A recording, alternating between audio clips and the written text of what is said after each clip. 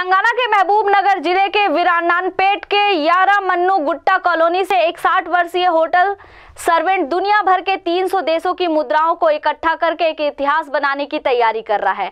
कम उम्र में अपने पिता और माँ को खोने के बाद लक्ष्मी ने सात साल की उम्र में कई समस्याओं का सामना किया। गरीब बच्चे को पांचवी कक्षा में अपनी शिक्षा समाप्त करने के लिए मजबूर किया गया।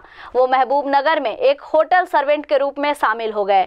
बाद में लक्ष्मिया हैदराबाद में स्थानांतरित हो गए और शहर के विभिन्न होटलों में चाय के लड़के के रूप में काम करना जारी रखा और अंततः विभिन्न देशों की मुद्रा के संग्रह संग्रह में उनकी दिलचस्पी बढ़ी। विभिन्न देशों के सिक्कों को इकट्ठा करने के अलावा उन्होंने महान गानों घंटसला और इतिहास की किताबें इकट्ठा करने की भी रुचि विकसित की।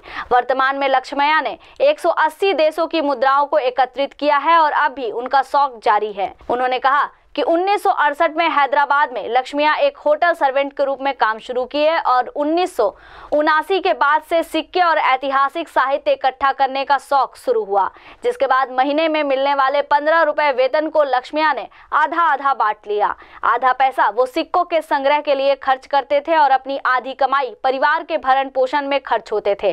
लक्ष्मिया बताते हैं कि उस समय के बाद से अब तक मैंने विभिन्न देशों की विभिन्न मुद्राओं को इकट्ठा करने में बारह से अधिक लाख रुपए खर्च किए हैं।